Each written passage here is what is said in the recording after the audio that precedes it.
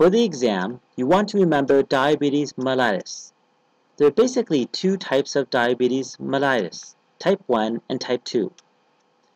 DM type 1 is when the client is generally insulin dependent. This affects younger individuals. Specifically, the pancreas may not be producing enough insulin. With type 2 diabetes mellitus, this is usually called adult onset diabetes because this generally affects adults. This is a condition where there is enough insulin being produced by the pancreas. However, there might be problems with insulin sensitivity. With diabetes mellitus type 1 and type 2, the client will suffer from the three P's, polyuria, polydipsia, and polyphagia. With diabetes mellitus, this is a metabolic disease whereby the blood sugar levels are elevated, so they suffer from hyperglycemia.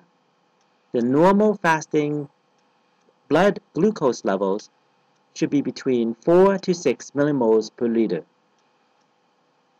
Remember that the general diabetes management includes diet, so a diet in complex carbohydrates, exercise, and medication, specifically insulin. Here's a typical type of question dealing with diabetes.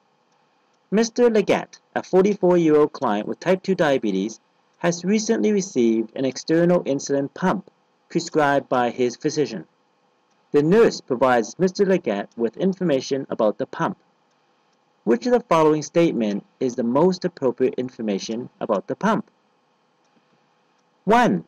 The client may self-administer a bolus with an additional dosage from the pump after each meal. 2. An external insulin pump provides the client with small continuous doses of regular insulin subcutaneously. 3. An external insulin pump regularly monitors blood glucose levels during the night. Or 4.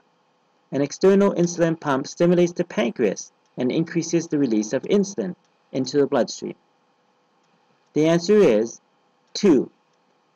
An external insulin pump provides the client with small continuous doses of regular insulin subcutaneously. Note that the pump is not surgically attached to the pancreas.